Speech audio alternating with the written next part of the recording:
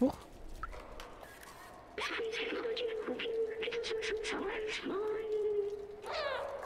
Ah. Gut, da bin ich ja dabei.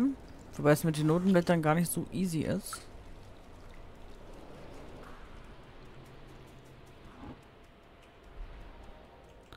Warte mal, der Stricklan, der war doch dann ziemlich hier am Anfang, oder? Meine ich? Ja, ja. Erst ein bisschen Liebe. Ja, ja. habe ich dabei für dich.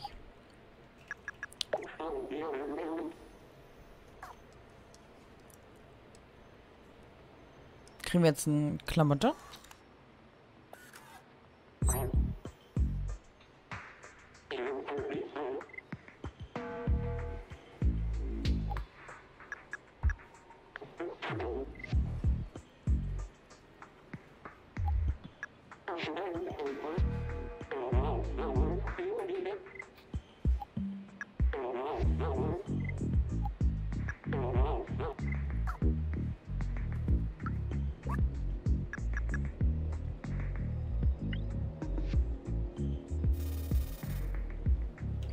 Ich dachte, ich kann ihn jetzt äh, anziehen, aber irgendwie kann ich das nicht.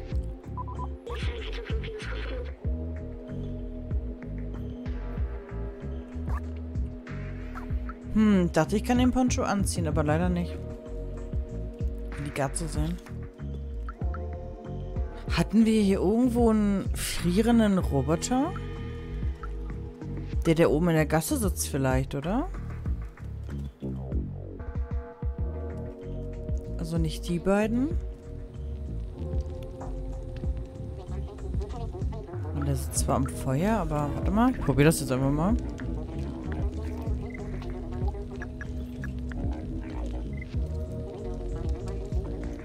Nee. Ich hätte nämlich hier irgendwo diesen einzelnen Roboter noch da hinten. Ich weiß nicht, wie ein Roboter frieren kann, aber die haben ja menschenähnliches Verhalten, so wie Verhalten, so wie wir das gesehen haben.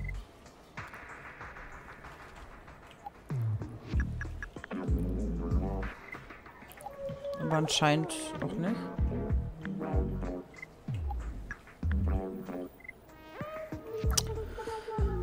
Ach, wer ist denn hier bitte Technikfreak?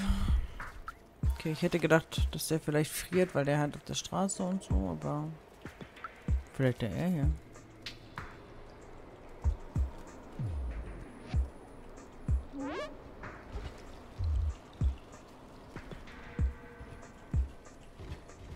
Der einzige Roboter... Der einzige Roboter, mit dem ich nichts machen kann.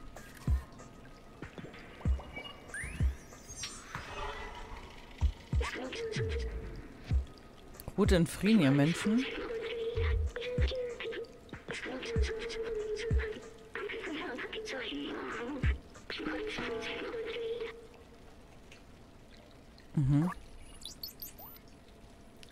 Zwei Hinweise müsste ich noch finden, theoretisch.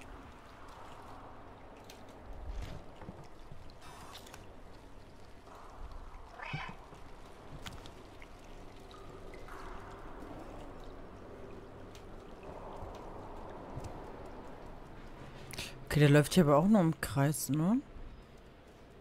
Ist doch echt der einzige Roboter, mit dem ich nicht reden kann.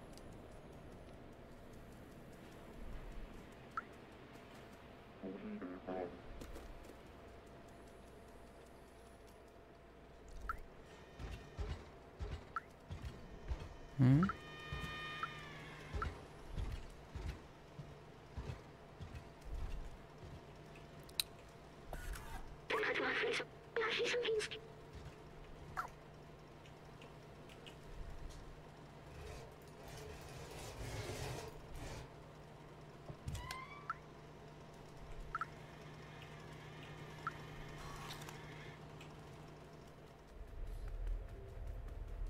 Kennt der sich vielleicht damit aus?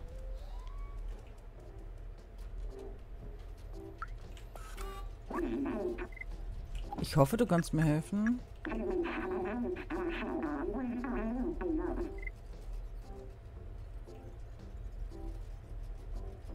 Hier steht du vorbei. Wer vereinbart dein Rendezvous mit Binärcode? Aha. Das heißt, ich muss wieder in die Bar, oder? Oh, er will ihn anscheinend haben.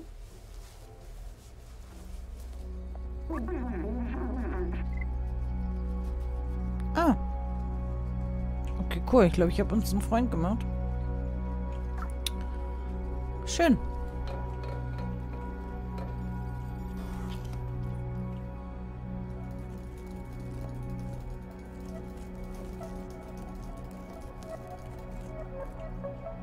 Anscheinend hat der gefriert. Äh, gefriert, ja. Gefroren. hat gefriert. äh, so, dann gehen wir mal zur Bar.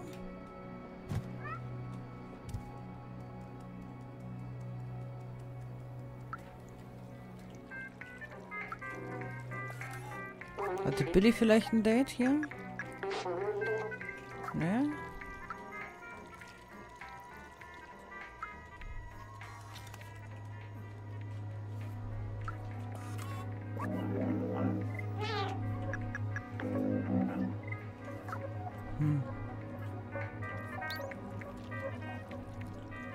Ich meine, der Code der führt uns jetzt hier zu dieser Bar.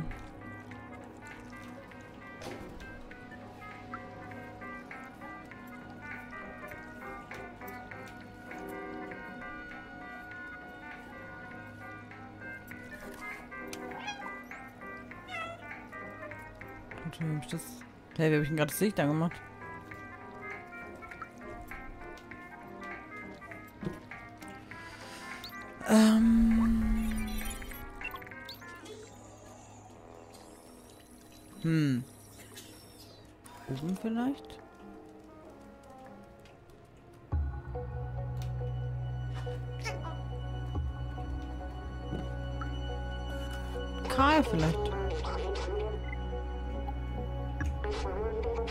Ja.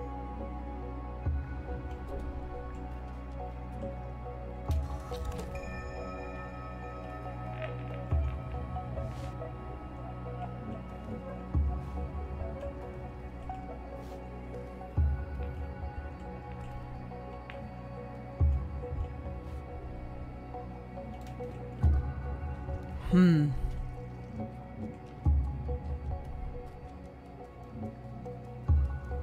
Tja, mehr haben wir jetzt aber auch nicht rausgefunden, oder?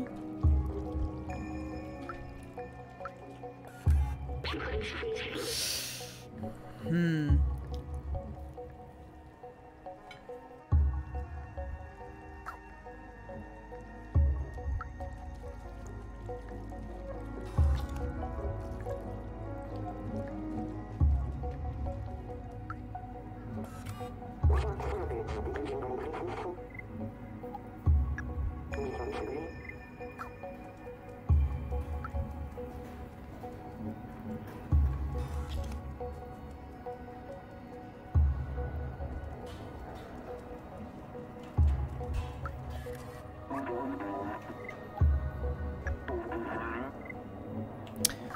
Es ist, äh, hm. Wenn der ist ja nur für Pflanzen zuständig.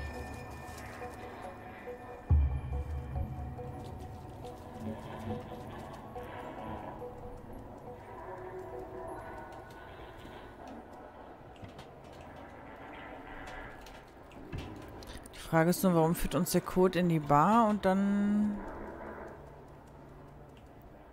verläuft er sich irgendwie.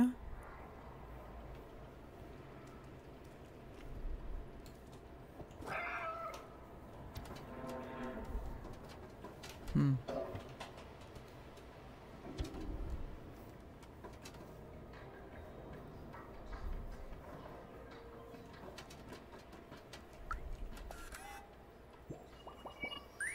Gut, jetzt holen wir da doch eine Sache für, dann haben wir das zumindest auch fertig.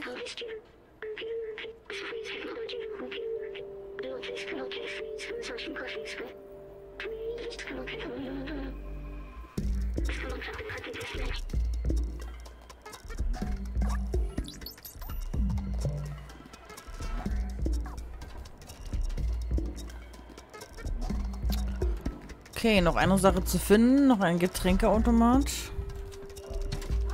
Und der Binärcode für den Tresor.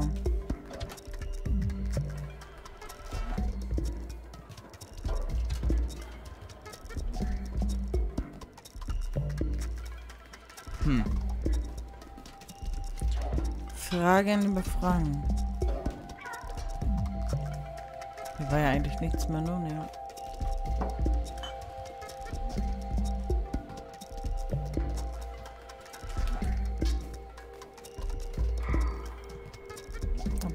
Könnten wir noch hin.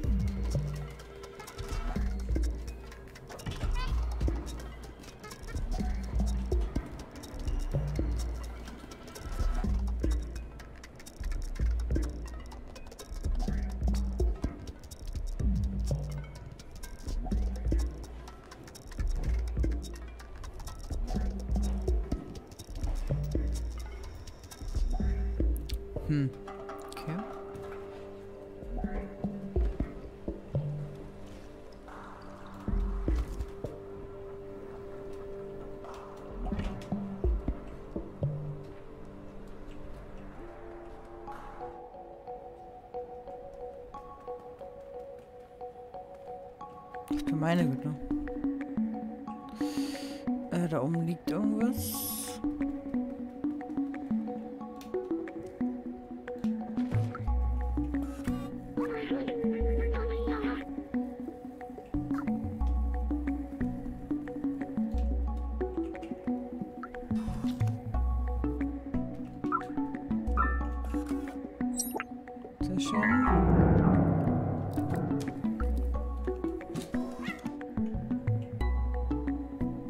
Oh, ein Schlafplatz.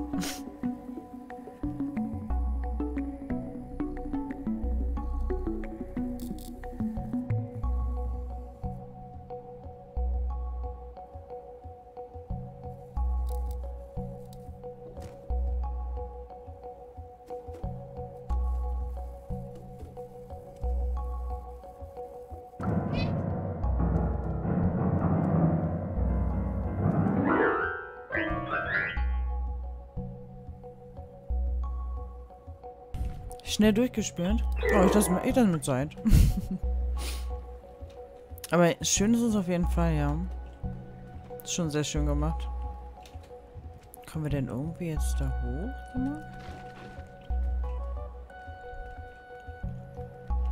Wie lange hast du gebraucht, bis du mit dem Game durch warst?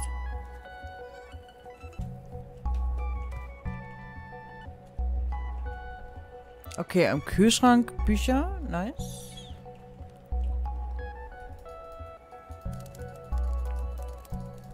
Ja, lass sie schmecken.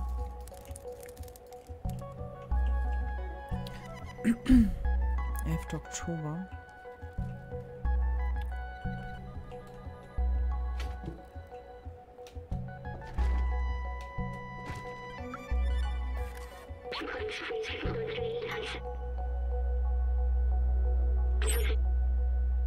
Ah. Okay, muss also auch noch ein Safe irgendwo sein.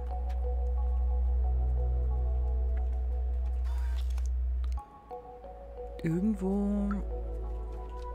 Schauen wir mal, wo sich denn was aufhält hier. Alles klar, Fuchs. Oder war da noch was?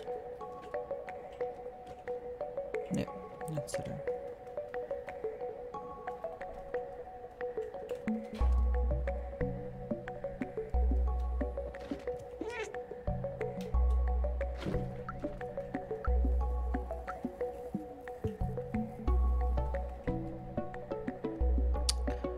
frage mich gerade, wo hier so ein...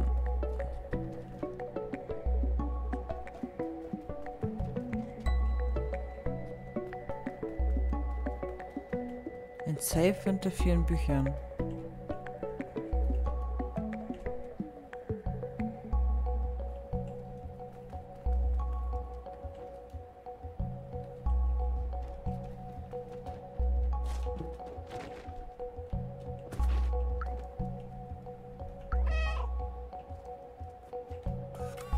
Genau was?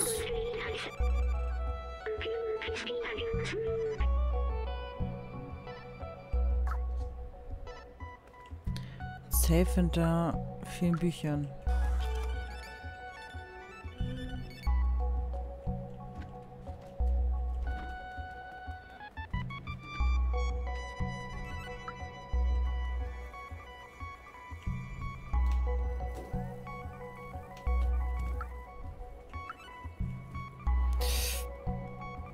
Aber ich bin ja jetzt schon bei allen Büchern gewesen.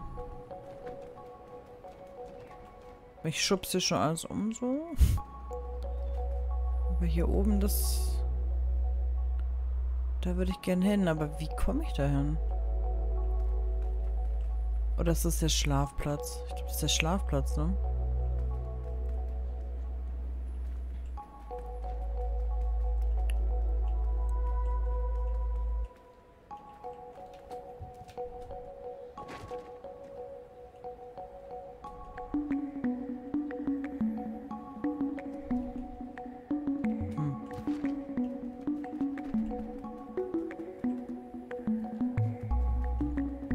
Ich sehe auch nichts Auffälliges gerade hier.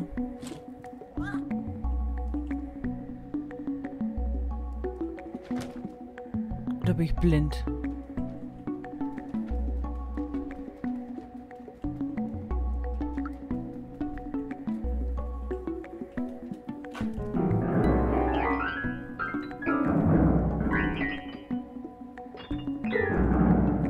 Ja, ist der Schlafplatz auf jeden Fall.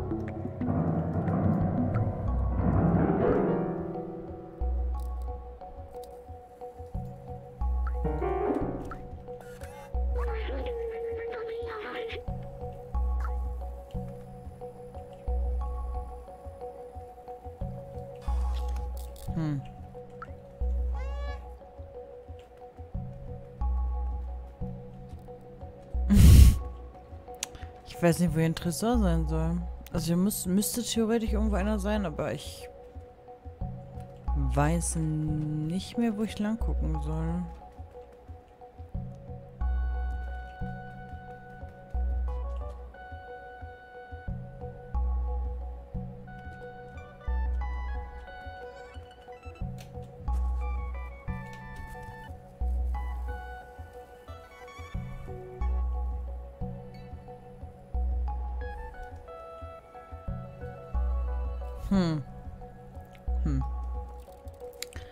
Ich einen Schlüssel, aber...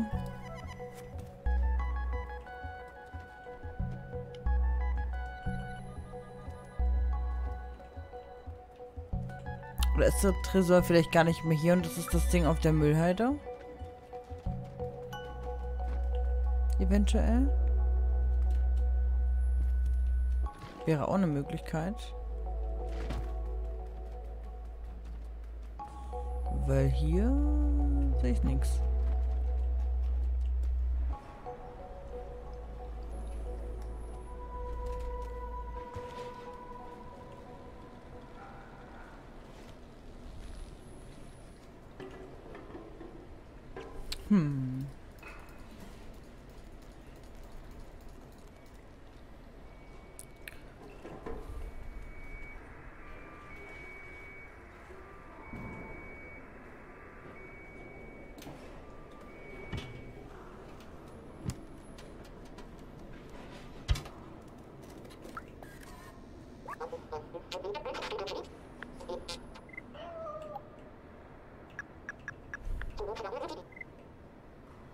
Tja, das wusste ich auch nicht.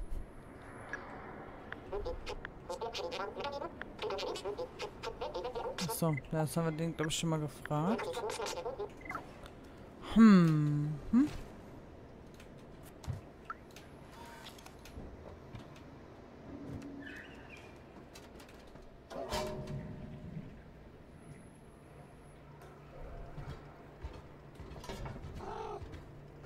Ich würde den halt gerne mal ansprechen können. Kann ich aber nicht, leider.